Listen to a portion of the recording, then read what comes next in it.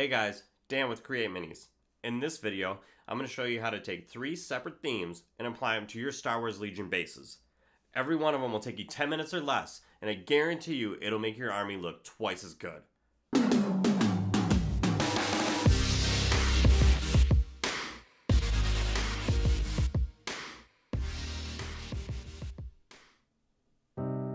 So first, let's start with a desert base. You can use this base for a planet such as Tatooine or Jakku or anything like that.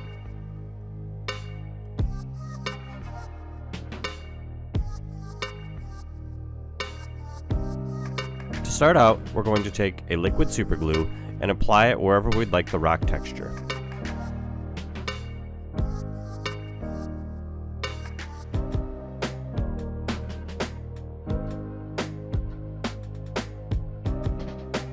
Next, I'm going to be using a playground sand to add some rocky texture to the base. This sand you can find at your local hardware store. Now if you want to, you can put the sand through some sort of strainer in order to get some of the bigger rocks and chunks out of it.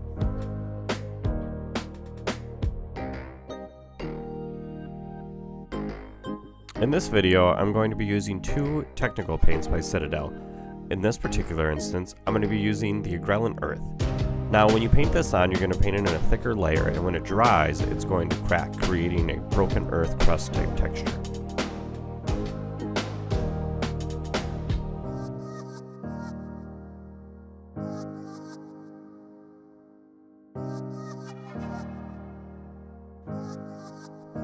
Now when using this paint, don't be afraid to apply it liberally. When it dries, it's going to contract and crack a little bit. If you put it too thin, it won't crack as much as you want to, and it may flake off. If you put it thicker, you'll get a little bit more of an effect when you dry it. Also, you want to kind of overlap the rocks that you put on there a little bit, so that way there's not a definite line in between where the paint you've added started and the rocks you have end.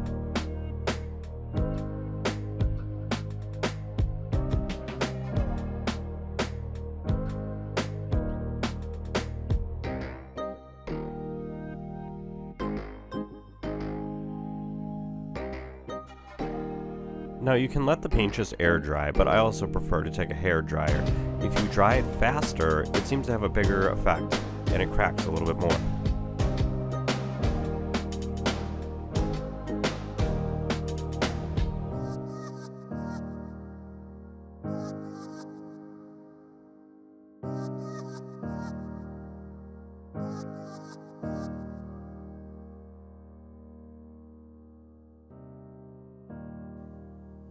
Once the paint is fully dry, we're going to prime it.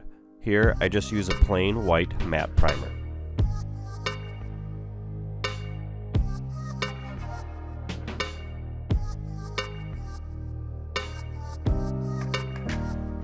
Now, I'm going to apply Agrax Earthshade. You want to apply this quite thick over the entire piece. Start it in the rock area, as you'll notice that this will almost absorb the shade a little bit more. Begin there, and then pull the shade into the flat area when you're done.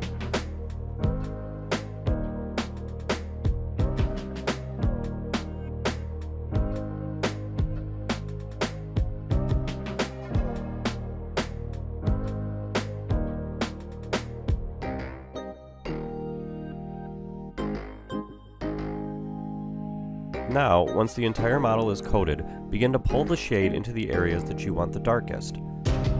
Once it's evenly coated, take a little bit more shade and darken it to your liking.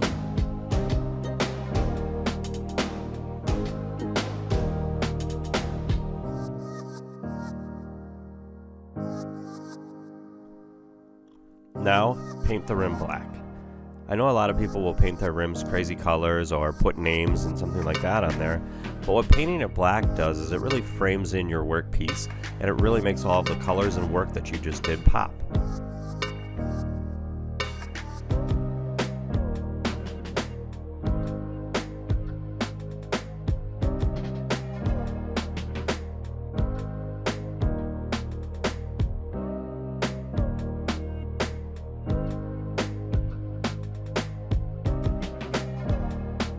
You have it, there's one base down. I told you this would be easy. So now, let's move on to something a little bit more challenging. We'll do a wooded base for a planet such as Kashyyyk or Endor. these are the tools you'll need. So to start this base, I'm going to need some wood. Now this wood here is from one of those Christmas villages. You don't necessarily need craft store type sticks or wood. You can find sticks outside.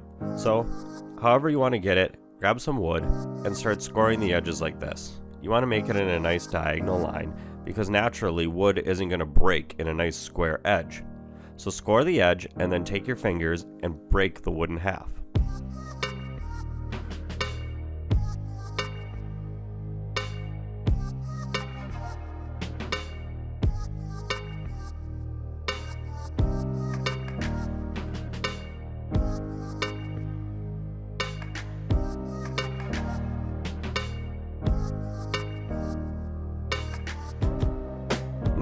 I'll use the other half of the wood to create some more broken pieces. What I'll do is I will cut it parallel with the actual log itself, splitting pieces off, breaking bark off.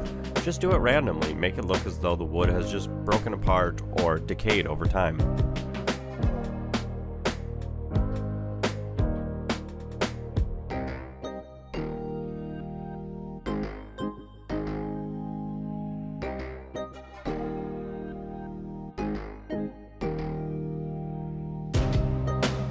Rough fit your arrangement, and then you're going to secure it using a gel super glue.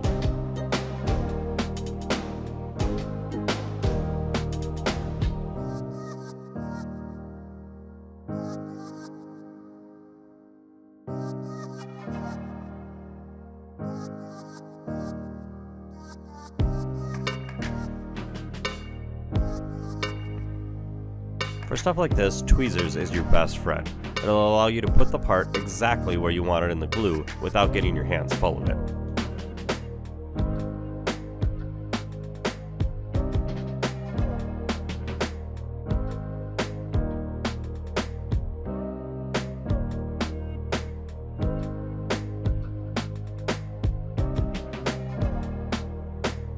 Because I find it easier to work with, I'll usually attach my workpiece to a piece of cork I have laying around using some poster tack.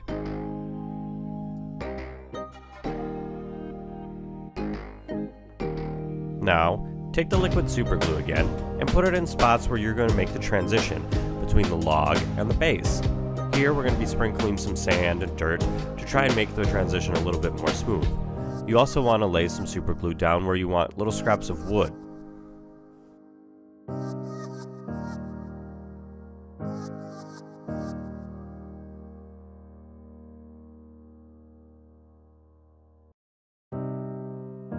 Sprinkle sand around the areas where the base meets the logs. This will help kind of break up that real sharp transition and make it look a lot more natural when you paint it.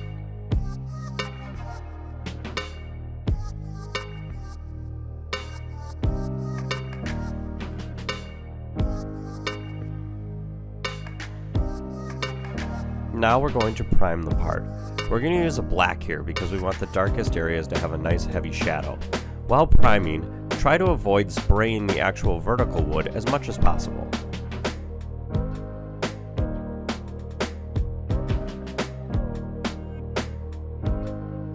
Now for a base coat, I'm going to be using Vallejo's Chocolate Brown, although any brown paint you have will do.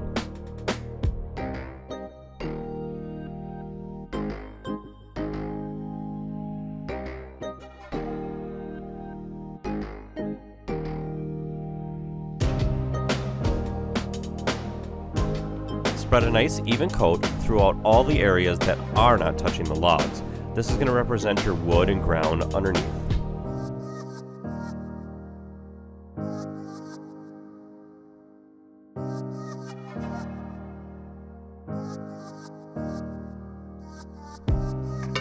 Now, we're going to apply some earth shade.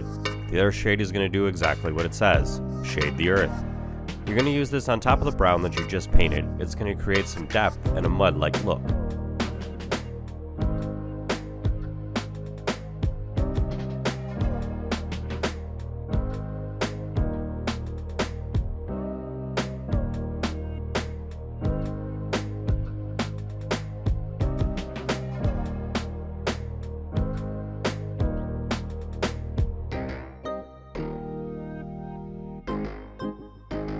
After your shade is dry, we're going to use Zandri dust in order to dry brush the highlighted areas. Take this, put it on an old makeup brush, and remove most of the paint from your brush. Then take it and rub it along the high areas and some of the logs, creating a highlighted effect.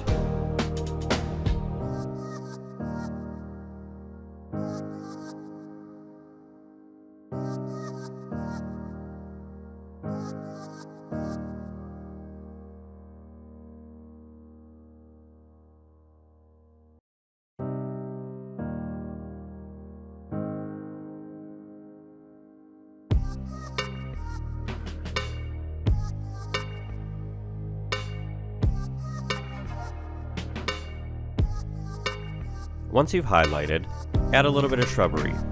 These are from Game Workshop, but there's multiple different companies that make little tufts of grass that you can add to these. Take one out, take a little drop of super glue to help make sure it stays secured, and place them next to the tree trunk.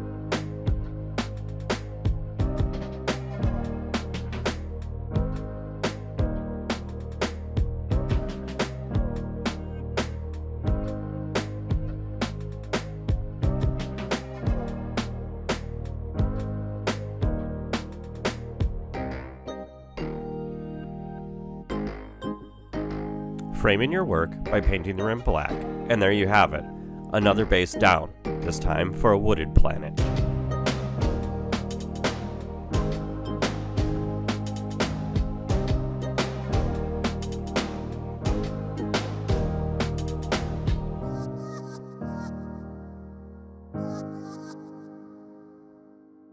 Next up, we're going to create a base for a snow-covered planet such as Hoth. We'll start out by using some cork. This cork you can find at your local hobby store, otherwise this is from Ikea. You can get three sheets of this for a couple dollars. What you'll do is just break off a chunk that we're going to be using for rocks. Take that chunk and break off smaller pieces, keeping one side flat and the other sides a little bit more domed like a rock.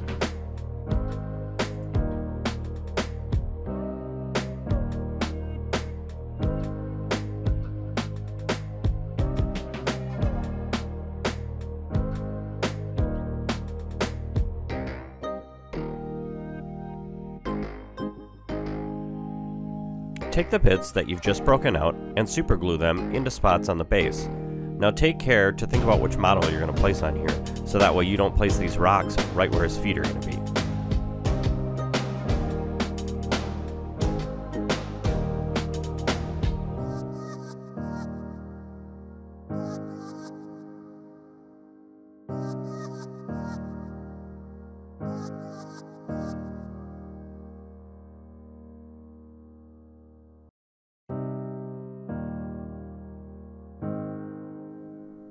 Now, to create more texture, we're going to be using our sand again.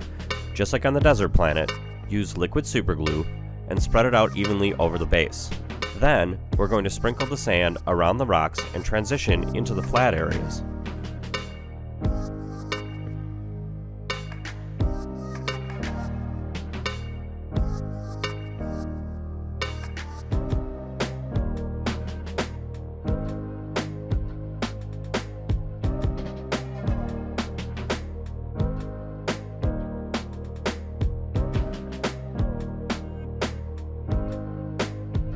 Now, to achieve a more wintry cold look, start by priming your base gray this time. Once gray, we're going back to the earth shade. Now with the rocks being cork, it absorbs the earth shade a little bit more. So start by applying a thick heavy layer on the rocks and then pulling it down onto the base itself. Spread evenly for a nice, smooth finish.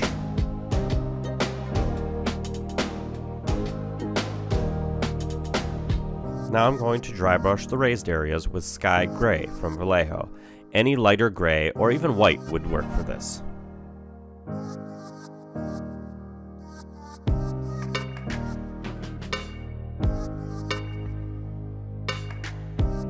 Dry brush the entire area, ensuring that you get not only the tops of the rocks, but the sides. If you do not dry brush the sides of the rocks, the transition is going to be pretty sharp and jarring.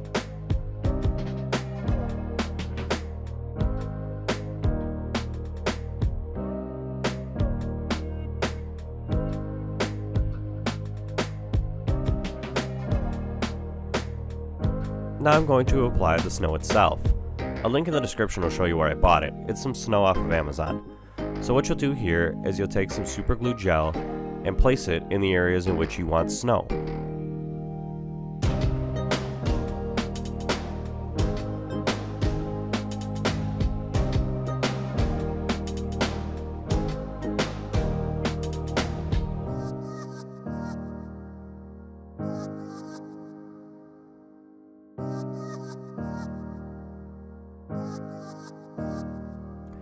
Cannot stress this enough.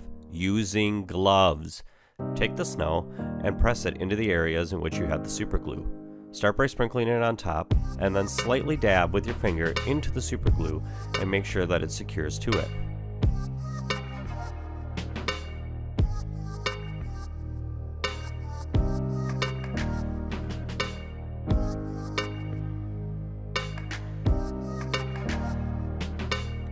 Lightly tap the sides of the base to knock off any excess snow. After that, you're going to take a pair of tweezers and pull out these little flakes that come in the snow. They're little like translucent piece of plastics. They make it look a little more unrealistic. If you have any sticking out, just grab them with the tweezers.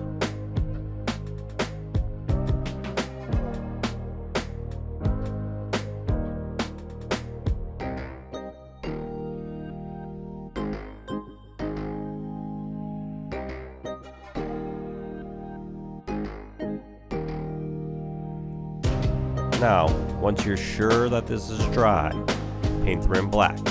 Painting the rim black before it's dry, you'll get super glue in your brush and you'll end up ruining it.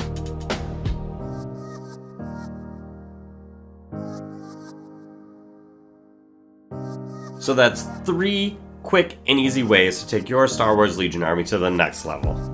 If you like what you saw, shoot me a like or subscribe to see more videos like it. You can check out some of my other videos such as my ARC Troopers, or if you want to see something else painted that I haven't covered yet, put some comments below, let me know. Hey, share this channel, help me out, I would appreciate it. Uh, if you want to see the products that I used, check out the links in the description below. And until next time, send word of an Imperial victory.